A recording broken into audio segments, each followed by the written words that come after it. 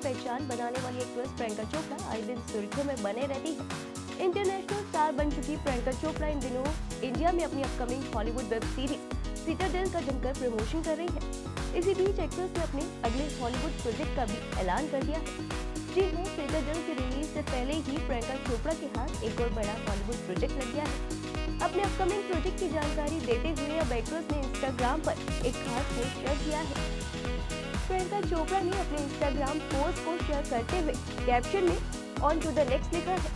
Russo brothers के बाद अब एक्ट्रेस हॉलीवुड डायरेक्टर इलिया नेशुलर के साथ अब काम करने वाली इलिया नेशुलर के निर्देशन में बन रही फ़िल्म हेड्स ऑफ़ स्टेट में प्रियंका चोपड़ा लीड रोल में नज़र आएँगी।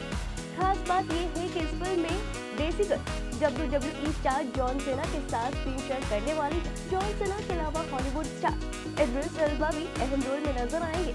एक्ट्रेस ने इंस्टाग्राम पर फ़िल्म के डायरेक्टर और को के साथ फ़िल्म के निर्माता एमेजॉन स्टूडियो को टैग करते हुए कैप्शन में लिखा लेट्स गो खबर के मुताबिक ये फ़िल्म अगले महीने फ्लोर पर उतरने के लिए तैयार रहेगी। अब प्रियंका चोपड़ा की पोस्ट पर उनके चाहने वाले और फैंस जमकर उन्हें बधाई देते नज़र आ रहे हैं।